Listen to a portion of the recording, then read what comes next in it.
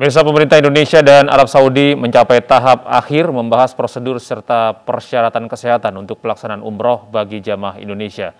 Sedangkan perkiraan biaya umroh terbaru mencapai 26 juta rupiah.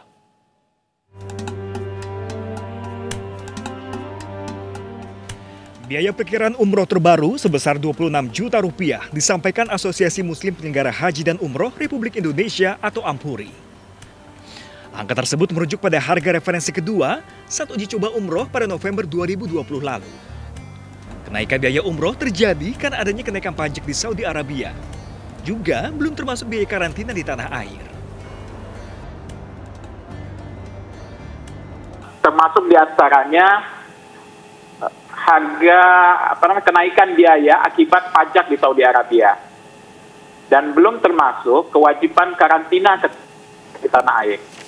Jadi bagaimana kita ketahui, Saudi Arabia saat ini hanya vaksinasi sudah lengkap, PCR negatif. Jamaah yang tinggal di tanah suci dipersilahkan langsung menuju Mekah dan uh, Madinah untuk melaksanakan ibadah umroh di Mekah atau ziarah ke makam Rasulullah di Madinah Al Munawwarah. Namun penyesuaian biaya umroh ini berlaku bila masih ada kewajiban karantina COVID-19 lima hari sebelum keberangkatan dan saat pulang dari Arab Saudi.